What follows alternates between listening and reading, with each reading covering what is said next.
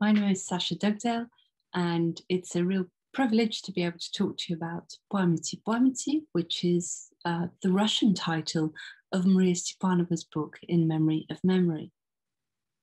In Memory of Memory opens when the narrator um, has a death in the family, the death of an aunt, and inherits a great deal of paper, photographs, materials, which she brings to her own house and thinks that at some point she will sit down and work through and um, understand the life of her aunt better.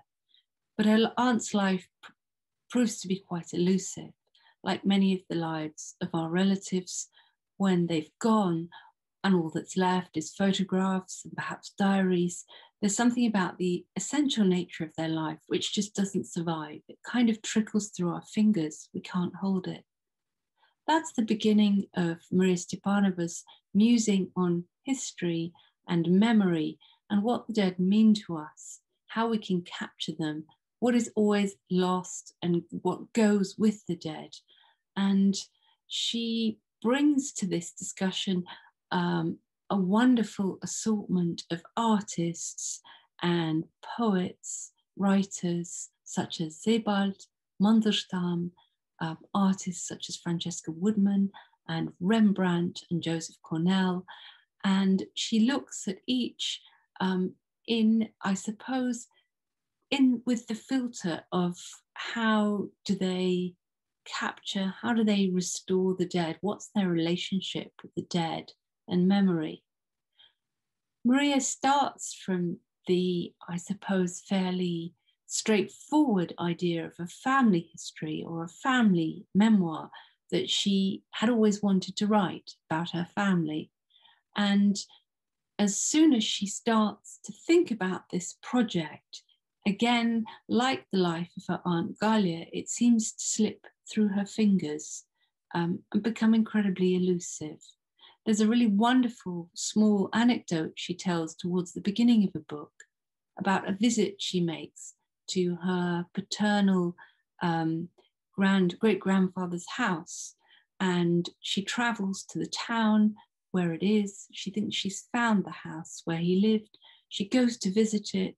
It feels like her house. It feels like she's coming home. And she she touches the walls. She has all these memories. Um, she feels as if she really belongs there. She goes back to Moscow only to discover a little later that, in fact, her family lived in a completely different house. This was just simply a red herring. And all those feelings that she'd had, those kind of atavistic feelings, they, they meant nothing at all.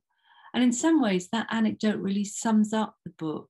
It's um, the search for the past, the search for history is all about the search and not the finding. It's all about the process of coming to terms with what's happened before us. And it raises all sorts of moral and ethical questions about how we deal with memory, how we deal with the dead in a post religious um, landscape. What's really interesting to me as a writer, as a Russianist, as someone who spent a, a, great deal of time in Russia and translating Russian literature, is the way in which this book is an international book. It starts with a family history based in the Soviet Union, based in Tsarist Russia, and more recently, and it opens up to include Europe, America, um, and, and all of us really um, Maria makes the point in the book that, of course, the Soviet experience and the trauma of Soviet life um, and the Holocaust um, is, is, of course, terrible. But actually, right around the world, people have suffered terrible, terrible traumas and genocides and famines and wars. So, in many ways, uh, many millions of people are affected by impaired family histories, lost histories, um, histories which have been buried in migration and death. Um, and so it's a book that speaks to everybody. It's not just about Russia, although, if you're interested in Russian history, there is an awful lot of uh, Russia related um, information in it. It's a really beautiful book.